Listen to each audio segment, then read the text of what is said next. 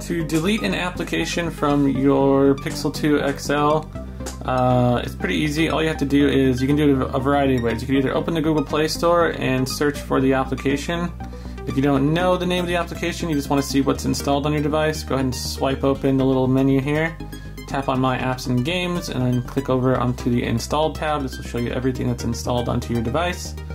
From here you can find, say, an application, go ahead and tap it, and then you can click the uninstall button and that'll immediately uninstall it. You can also do it from the home screen as well by opening up your app drawer, finding the app application you'd like to uninstall, long pressing it, and then tapping, uh, letting it go, and you can go into app info if you'd like, uninstall it that way. Or you can long press, hold it, move it around a little bit, and then just drag it all the way up here into the top right corner to uninstall, let go, and then you can uninstall it by tapping OK.